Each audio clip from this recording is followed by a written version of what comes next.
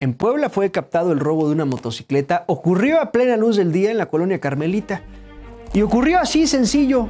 Un sujeto simplemente levantó la pata de estacionamiento de la motocicleta y la empujó por toda la calle. Así se la llevó como si fuera suya. Hasta el momento el cobarde ladrón no ha sido identificado. Vea con qué facilidad se robó esta motocicleta este delincuente.